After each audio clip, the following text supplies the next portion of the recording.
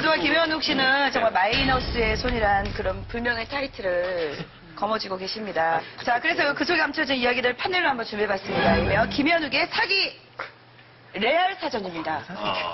사기 레알 번째. 사전. 양곱창.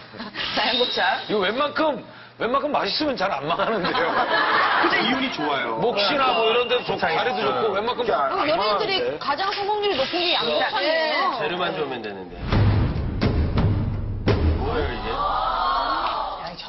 의기소침한 음식. 저희 그 양곱창 할 때 저희 가게 이름이 의기양양이었어요. 가게 이름이 양곱창이니까.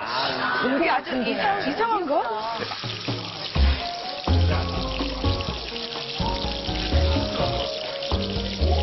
네, 되게 좋았어요, 스타트가. 그리고 네. 안목이 있었죠. 왜냐면 그 당시에 그 앞에 한 4개월 정도 잘 됐죠. 어우, 4개월. 오픈빨 아닌가요? 이제 한 달에 얼마 가져갔어요? 한 달에 그때는 초기라 가져가지는 않았죠. 왜냐면 투자, 모아놔야 투자. 되니까. 투자를 해야 네. 되니까. 그죠? 네. 그러면 곱창에 대해서 본인도 굉장히 잘 알고 곱창의 맛을 잘 알고 계세요? 전문가가 있었겠지. 그때 시작할 때요. 네. 곱창을 처음 먹어봤어요. 곱창을 처음 먹어봤어요. 태어나. 곱창을 시작할 때 아니, 근데 왜 그게 잘 될 거라고 생각하신 거예요? 양곱창이 프랜차이즈가 없었을 때예요. 멘탈. 저희가 선구자였어요. 지금은 이제 프랜차이즈가 여러 개가 있잖아요. 네. 여러 어느 동네입니까? 선릉역 쪽이요. 강남. 근데 결정적으로 망한 이유는 뭐라고 생각하세요? 그때 광우병이 있잖아요. oh my god. 예. 광우병의 최악이 바로 부속물이거든요. 그렇지. 소에 그 그게 딱 오니까 정말 거짓말 안 하고 한 석 달인가 넉 달 동안 한 번도 안 오셨어요. 한 번도? 한 번도. 정말. 어머머, 어머머. 네. 그러니까 이거 뭐 가게, 가게세는 계속 나가고. 얼마 인건비나 투자했어요? 거기 제가? 거기 한 꽤. 2억. 그러니까. 근데 같이 동업하던 형하고는 완전히 등졌다면서요? 아, 그 뒤로 안 보고 있죠. 이건 어쩔 수 없는 상황. 광우병 때문에 그런 거는 그때 그 형님은 이제 중소기업에서 사업을 성공하신 분이었어요. 한 번. 그 경력이 있는 분이어서 워낙 아이디어도 좋고, 그 다음에 잘하는 분이어가지고 제가 이제 경영을 다 맡긴 분인데, 모든 자금 관리를 그 형이 한 거예요. 그러니까 저는 그냥 열심히만 했고, 오는 사람들에 대해서 최선을 다하면 된다. 다만 자금에 대해서는 저는 전혀 신경을 안 썼어요. 예. 그 저보다 한참 형이었고, 예. 믿었기 때문에. 경험도 있으시고. 네, 경험도 있고. 예. 근데 근데 제가 넣었던 보증금이 매번 깔고 있는 거예요. 전 몰랐는데. 아 월세를 안 내고 월세 안 내니까. 어. 네. 네. 그래서 정말 2년이 딱 지났을 때는 10원 한푼 안 남기고 그냥 알몸을 먹었어요. 아무것도 없이. 네, 2년, 2년을 끈 거예요, 그거. 네, 아무것도 안 가지고 나왔어요. 아, 왜냐면 지금 곱창 2년. 이런 건 잘하겠네요. 손질하고 이런 지금 거는. 뭐- 한번 해봅시다. 곱창 보면은, 예. 예, 패고 싶죠.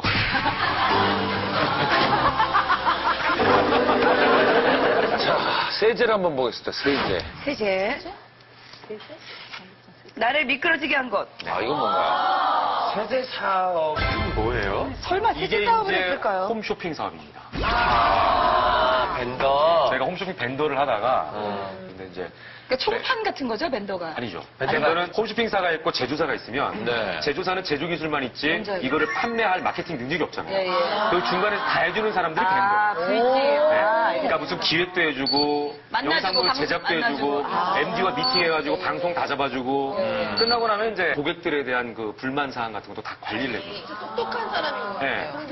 뭐, 적성을 잘 맞았을 것 같아요. 왜냐면 제가 쇼호스트를 했었기 때문에 그러니까요. 해봤기 때문에 홈쇼핑 시장을 제가 알고 있었거든요. 그럼. 그래서 이제 출하를 했는데 그냥 욕심 안 내고 밴드만 했으면 되는데 하다 보니까 야 이걸 우리가 투자해서 제조를 하면 돈을 더 많이 벌겠구나 하는 생각을 했어요. 그래서 욕심, 욕심. 예, 만능 세제가 그때 인기였어요. 세제를 닦이는 가지고 거 다? 닦이고 잘 닦이고 손에도 해 없고 어, 자연세제. 자연세제. 솔깃한데 왜 안 됐어요?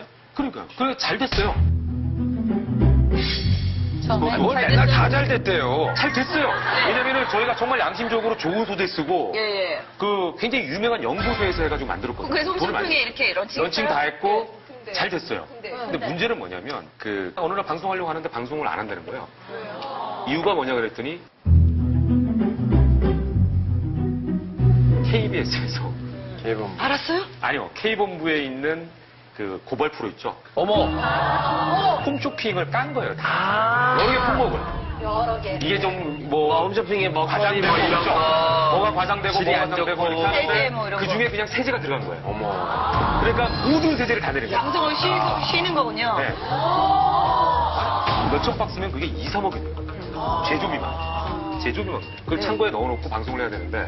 만들어 놓은 거 어떻게 그러니까 만들어 놓은 거 자체를 어떻게 해서. 아니, 광우병 파동 일어나, 이렇게. 그거를 내부적인- 먹을 수도 없는 거잖아요. 이거 먹을 수도 없는 거잖아요. 그러니까 그게 다 창고에 있으니까 창고비 나가. 그뭐 그게 다 돈이니까. 그래서 이제 그게 다 날리게. 얼마 드렸나요? 여기 또 투자를 얼마 그때도 제가 한 2억 정도. 그래, 그때 그 형은 또 어디 갔어요? 그때 그 형님은 그 뒤로 계속. 중국을 어떻게 오간다는 얘기는 들었는데 그분도 지금 연락이, 연락이 안 돼요? 네. 아, 그러면 여태 그분들하고 이렇게 노래방에서 이거 다 하신 거죠? 그렇죠. 이미. 네. 아. 이미 그분들은 나의 그 춤의 역사를 춤을 다 알고. 안 거죠? 네. 자. 그러면 자전거가 궁금합니다. 자전거. 나를 피말리게 하는 거. 사실 자전거, 한때는 좀 약간 열풍이 불었었죠. 자전거는 제가 자전거를 판 게 아니고요. 어. 자전거 관련된 어떤 사업을 하셨던 분과의 인연이에요. 뭐 한 천억. 뭐 사업을 하시는, 유명한 네. 사업을 하시는. 형이에요? 역시 그 형도? 누나입니다, 누나. 누나랍니다, 누나. 누나. 아, 이번에 누나야. 형과 누나. 누나. 제가 항상 형만 있다가 갑자기 누님이 생겨가지고. 어, 누님도 좋아하셨겠어요. 그 누님이 너무 좋아했죠, 저를. 예, 짧은 시간에 확 친해졌죠. 그, 네. 근데 이 누님이 이제 뭐가 있었냐면, 그때 당시에 이런 이런 실제적인 걸 보여주셨어요, 저한테. 그래서 가서 보기도 하고, MB 정권 때죠. 그때 그림 물결 이래가지고, 사대강 사업하면서, 거기 옆에 자전거, 네, 자전거 도로를 안 돼요, 하나. 그러니까 자전거 도로를 놓는 그런 뭐 사업과 더불어 가지고, 청소년들 관련된 무슨 국가 사업을 한다고 그랬어요. 아, 되게 그럴싸하네요. 네, 그래서 어떤 부지도 가고 그러면서 이제 국가 사업하는 거에 이 사업은 언제 언제까지다라고 정확하게 얘기를 해요. 기간도 얘기해주고 관계된 분도 만나고. 완벽하지. 네, 그러다 보니까 짧은 시간 안에 1억 정도만 투자를 하면 3개월 안에 원금 회수. 그 이후에는 이제 30% 이상의 수익을 보장하겠다. 그리고 거기에 대해서 원금은 무- 무조건 돌려준다라고 하는 일종의 그 사용증, 사용증이 있었어요. 빌려가는 식으로. 그거 필요 없더라.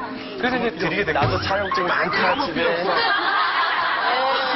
오늘 좀 듣다 보니까 네. 이게 사업이 양곱창에서 넘어가는 게 점점 약간 위험성이 높은 쪽으로 가고 있거든요. 그런데 투자와 투기가 사실은 성공하면 투자고 실패하면 투기고 사기가 되는 건데 잘 생각해 보면 정말로 원금도 보장되고 수익만 날 수 있는 구조인데 굳이 뭐하러 다른 사람을 여기 끌어들이겠어요. 저를 굉장히 이뻐하시는 줄 알았죠. 그러니까 그 얘기는 뭐냐면 위험한 사업이고 남의 돈 끌어다 쓰시는 거기 때문에 대부분의 경우에 그런 사업은 실패하면 남의 돈 잃는 거고 성공하잖아요? 그럼 그 돈 챙기고 가세요. 그러니까 그걸 이런 경우로 사기를 굉장히 많이 의심을 안 해보셨어요? 사실.